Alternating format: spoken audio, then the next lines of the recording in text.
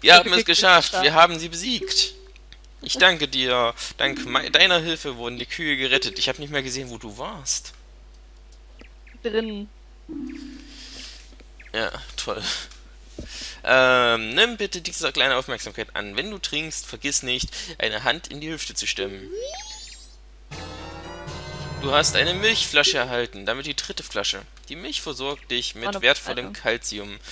Drückte C, um einen kräftigen Schluck zu dir zu nehmen. Dadurch werden fünf deiner Herzen wieder aufgefüllt. Die Flasche enthält zwei Schlucke.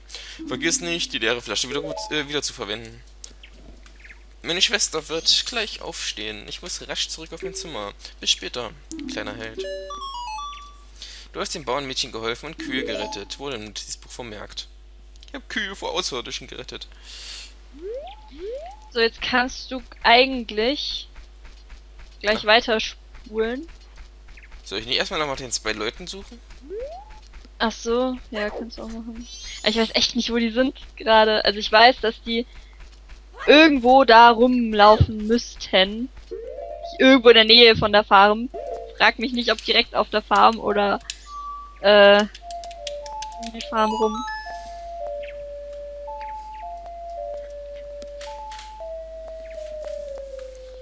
Aber du kannst, also, sonst könntest du einfach jetzt bis abends vorspulen und dann der anderen Schwester helfen. Was will die denn? Die hat ja gesagt, um 18 Uhr will sie ähm, Milch in die Stadt transportieren. Hm. Ja, jetzt lass mal, lass mal den Tag noch beginnen und dann kannst du dich nochmal umgucken, ob irgendwelche Leute rumlaufen. Ja. Weil sonst kannst du in dein Notizbuch gucken. Da müsste drin stehen um 18 Uhr, dass die andere Schwester was will. Dämmerung des zweiten Tages. Wir bleiben 48 Stunden. Dum dum dum. Kikeriki.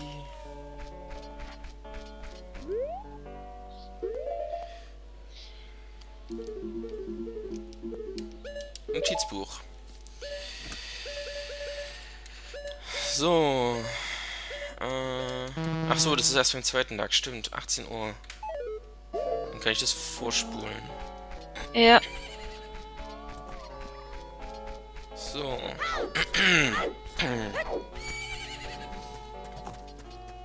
Hinauf. Hey. Hey. Hey.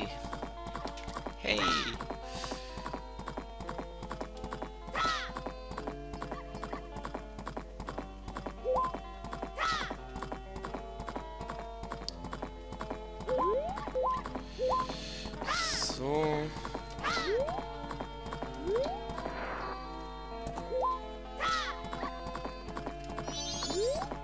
Keine Ahnung, wo die sein sollen. Vielleicht sind die einfach nicht da jetzt dem Zeitpunkt. Ach, jetzt fängt es an zu regnen. Kann auch sein, dass die in der Stadt oder dass die halt irgendwo draußen rumrennen. Die haben nur was mit der Farm zu tun, also. Hm. Gut, dann spule ich vor. Ja, ist egal. Kannst auch erst das machen. Das ist nur so eine, so ein, auch wieder so eine Nebenquest, die ist nicht so wichtig. Wenn man die jetzt halt hier irgendwo findet, dann kann man die machen, weißt Mhm. Wir brauchen immer noch eine Flasche. Ich muss mir gerade mal aus dem Hirn sagen, wo es noch Flaschen gibt. Ah, ich glaube, da könnten wir eine... Nacht des zweiten Tages. Verbleiben 48, 46 Stunden. So, jetzt ist es 6 Uhr abends. Müsste es ja jetzt losgehen irgendwo. Musst du die anquatschen? Wo ist sie denn?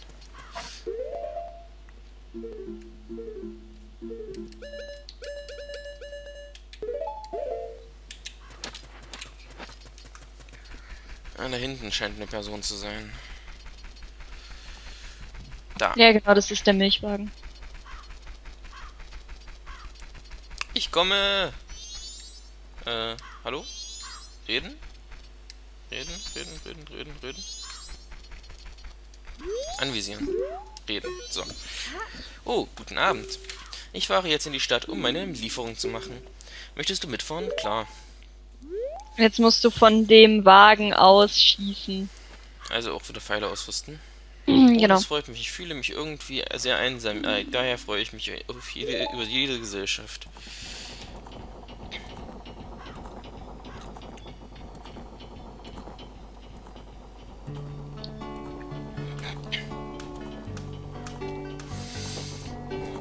Es ist schon eine Weile her, seit unser Vater von uns gegangen ist. Ich kümmere mich um die Ranch, aber das ist nicht immer einfach. Die Kühe wirken irgendwie bedrückt und erschöpft.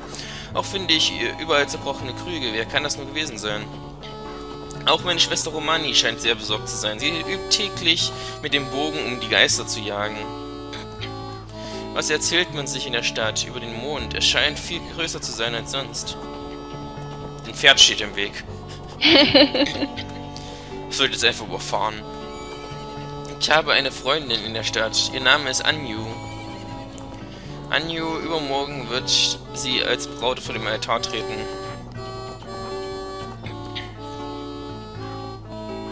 Ich frage mich, ob dieses Ding ta äh, tatsächlich herabstürzen wird.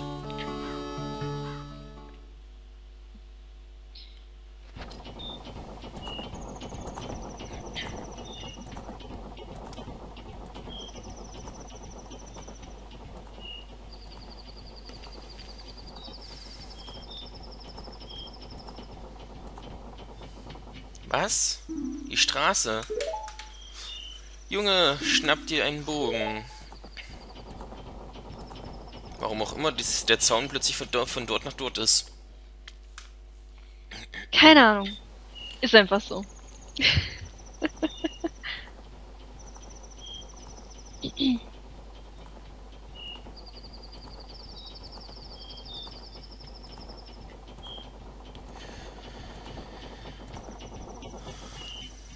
Ach genau, Zuerst da wird die Milchstraße durch einen Felsen blockiert und jetzt? Uns bleibt keine Wahl. Wir müssen wohl diesen Umweg in Kauf nehmen. Das waren dann die Typen, die ich meinte da. Bist du bereit? Ich werde versuchen, uns so rasch wie möglich herauszubringen. Du musst versuchen, unsere Ver Verfolger mit Pfeilen zu jagen. Ich glaube, sie sind hinter den Milchkrügen her. Weißt du, was du zu tun hast? Ja. Danke, ich verlasse mich auf dich. Wenn wir es schaffen, hier heil herauszukommen, dann bin ich dir einen großen Gefallen schuldig. Ist hier das Verlangsamen auch wieder nützlich? Nee. Aber da musst du jetzt echt aufpassen, weil die kommen ziemlich schnell ran.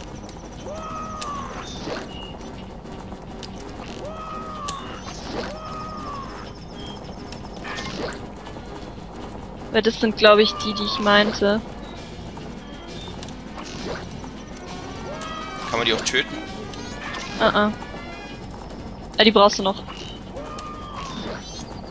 Eben für eine Nebenquest.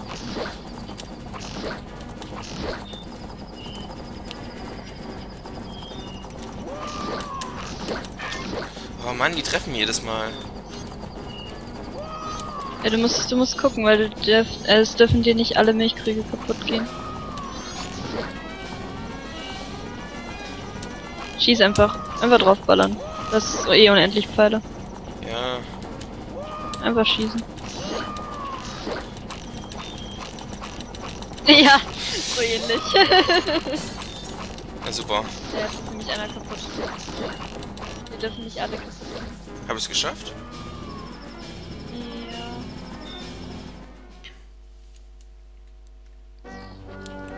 Scheinbar.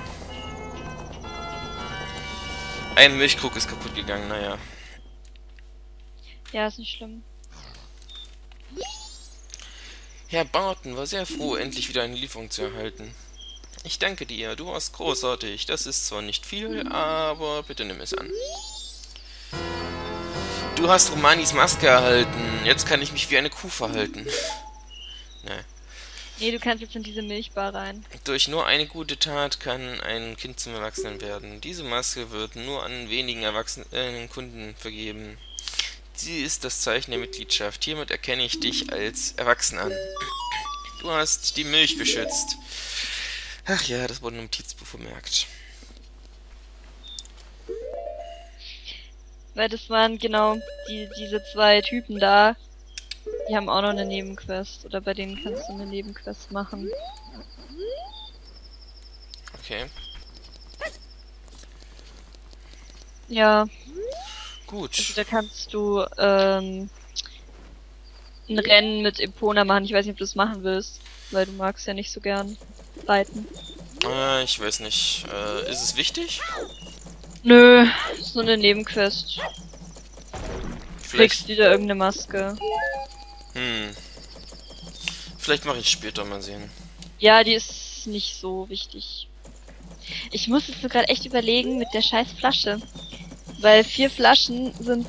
Also es ist unpraktisch, wenn du nicht vier Flaschen hast jetzt so vom nächsten Dungeon.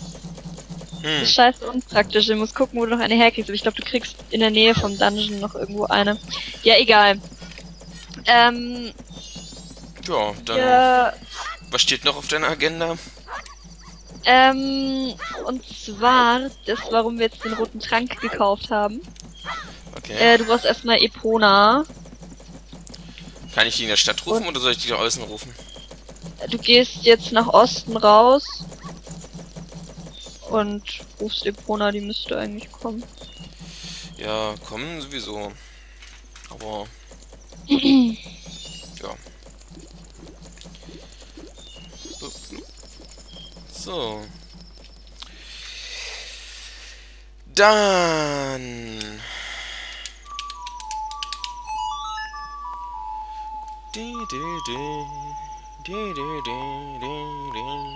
Eponas Lied gespielt. Hallo Epona.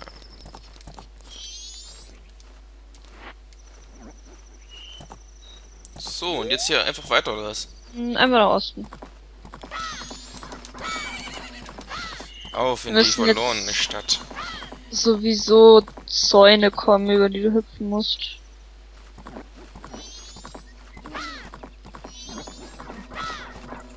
So, das heißt, ich wäre ohne Epona gar nicht hier lang- gekommen. Mhm. Na, ein Glück kann Epona so gut über Zäune springen. Du musst gucken und du brauchst diese Karotten dafür. Ja, schon klar.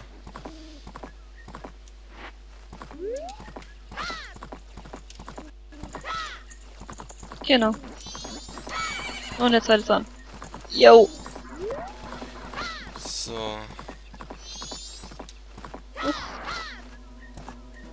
Stopp. Ich nehme an, da muss ich auch hoch. Äh, warte mal, warte mal, warte mal. Oder, oder warte mal. Ganz, ganz, ganz ruhig. Hihihi. Was machst du an so diesem Ort, einem Ort wie diesem? Der Hügel von Ikana ist ein Ort, an dem gequälte Geister ruhelos umherziehen. Auch jetzt noch ziehen die Geister auf der Ruhe nach dem umher, der sie retten kann. Dies ist ein, ganz sicher kein Ort für dich. Doch zieht es dich dorthin, finde die Maske, in der die irrenden Geister wohnen. Du findest sie nahe der Rentsch. Ohne diese Maske kannst du ihre Seele nicht retten. Bis dahin darfst du hier nicht vorbei. Ohne die Maske der Mensch? Hat er gerade das gesagt? Warte mal. Hm, warte mal, nur kurz überlegen.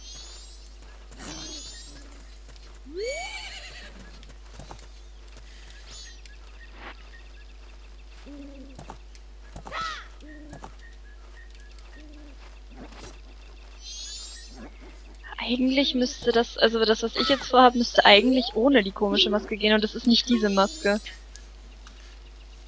Hast du ein, eigentlich, ein, ein eigenes Pferd? Und so und du n- nicht im Besitz der Maske bist, in der die verirrten Geister bewohnen, lasse ich dich nicht vorbei. Der mit dem schwarzen Herzen nahe der Mensch führt dich, äh, sie mit dich. Aha. Ja, das ist die Nebenquest, die ich meinte mit den Typen da, aber jetzt guck dich mal noch mal um. Genau, stopp, stopp, stopp. Ja, ja, ja, Epona Steig will mal immer so nicht... Einfach ja, mal ja, ich will ja absteigen, aber...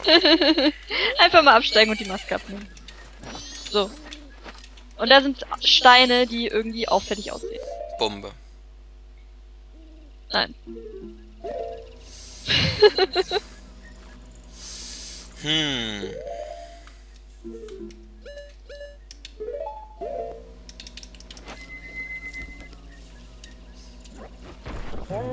Was tun wir, wenn irgendwas auffällig aussieht?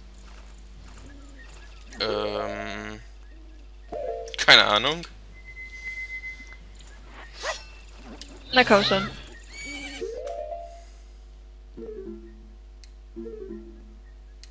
Bomben legen, ich weiß es nicht. Was äh, hast du denn so für Ei? Guck dir mal deine Items an.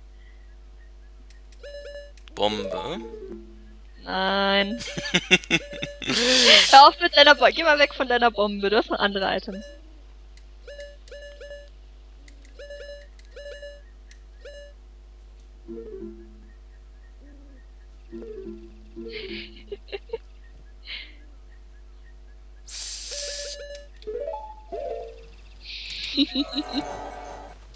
okay. Huch, sag nicht das. Ich bin schockiert. Du bist die erste Person, die jemals mit mir gesprochen hat. Ich bin nun schon seit vielen Jahren hier, fuchtle mit den Armen und bitte jeden um Hilfe, der... Aber alle Leute ignorieren mich und gehen einfach weiter. Es liegt wohl daran, dass ich so auffällig wie ein Stein bin. Aber daran habe ich mich schon gewöhnt. Ähm, ich hätte da eine Bitte. Würdest du mir etwas Medizin geben, damit sich auch ein unauffälliger Stein wie ich besser fühlt? Ah ja.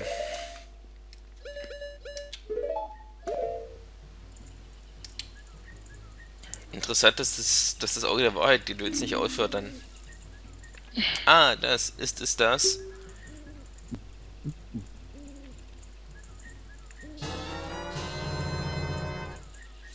Ich glaube, ich fühle mich besser. Oh, danke.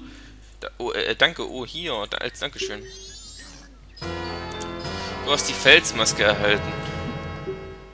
Aha. Ich muss jetzt üben, mich auffällig zu benehmen. Shiro, der steinerne Soldat, wurde ins Notizbuch eingetragen. Mhm. So, und die Maske, die du jetzt bekommen hast, ist so ziemlich das wichtigste Item für den nächsten Dungeon. Abschnitt. Abschnitt.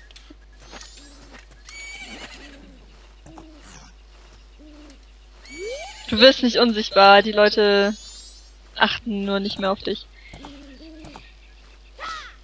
Das heißt, ich kann jetzt so richtig stehlen. Wenn du... Ähm, also entweder wir gehen jetzt zum nächsten... Ja. Dungeon? Es ist nicht wirklich noch nicht so ganz der nächste, einfach die, die Vorbereitung zum nächsten Dungeon. Oder du machst jetzt noch die komische Quest mit dieser Maske, wo der eine Typ meint, aber die ist nicht so wichtig. Ist sie denn sehr schwer? Du musst halt ein äh, Rennen machen. Du musst gegen diese Typen da ein Rennen gewinnen. Mit dem Pona. Und du bist jetzt nicht so gut im Reiten, deswegen. Naja, dann lassen wir's. Also, ist, wie gesagt, ist nicht so wichtig. Du musst jetzt halt nur zurück in die Stadt.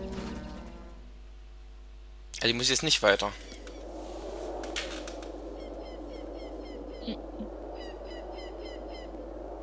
Ach so, du bist jetzt auf dem... Ja, du bist jetzt auf dem Friedhof, da kannst du zu dem Zeitpunkt noch nichts machen. Da kannst du erst, glaube ich, in der dritten Nacht was machen. Hm. Na gut, dann äh, gehe ich jetzt... Äh Ach komm, wisst ihr was, ich mache einfach dieses dämliche Rennen jetzt. Okay. Ja, dann musst du jetzt da, wo du vorhin vorbeigefahren bist mit dem Milchwagen. Diese mit diesen zwei Typen da. Hat dir der eine da oben sitzende ja schon gesagt. In der Nähe von der Ranch, der, wie hat er gesagt, schwarze Mann oder so. Hm, ja, die, keine Ahnung, die dunklen Männer oder sowas. Weiß ich nicht. Hm.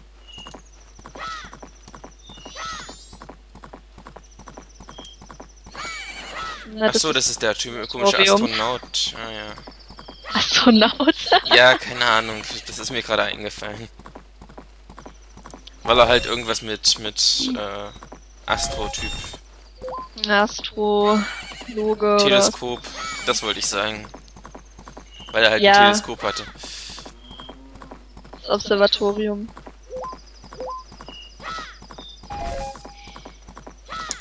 So. Also es ist nicht direkt auf der Ranch, ne? Also es ist jetzt da. Du kannst über den Zaun springen und dann nach links. Oder nee, oder? Doch, ja. Doch über den Zaun und dann nach links. Ich kann auch noch direkt nach links, oder nicht? Ich weiß nicht, ob du da direkt auch rauskommst. Kann sein. Doch, ja. Genau, Rennstrecke der Gorman-Brüder.